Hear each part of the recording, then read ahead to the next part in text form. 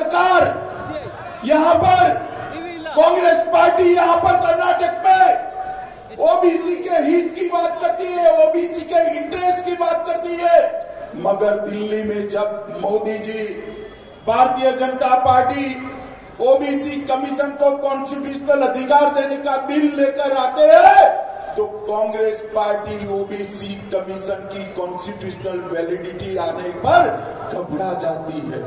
और विरोध में वोट कर कर ओबीसी समाज के विकास के लिए जो मोदी जी बिल लाए थे, उसको रोकने का काम ये कांग्रेस पार्टी ने किया है।